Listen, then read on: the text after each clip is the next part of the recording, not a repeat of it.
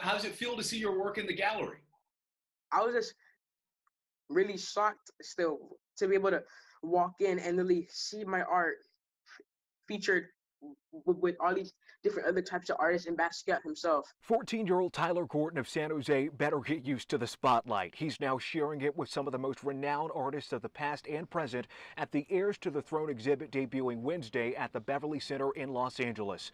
A dream for a teen who picked up the paintbrush just three short years ago. When I started painting, I was, I was painting for the fun of it, but now that people seem to enjoy it, I just love art even more. Vice President-elect Kamala Harris definitely loves his art. She gave him a call to personally thank him after a pic of her portrait went viral last week. You really have a gift, my goodness. thank Such you. a gift. For Tyler, there's a personal connection.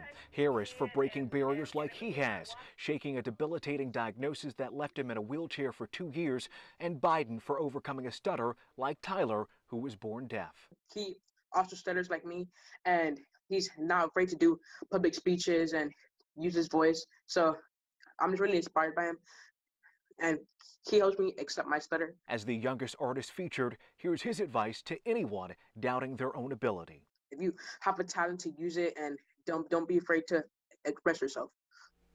Tyler's portraits will be on display at the Beverly Center in Los Angeles until the end of the year. As far as what's next, he tells me he hopes to someday be able to paint the official White House portraits for the President and First Lady. I'm Julian Glover, ABC 7 News.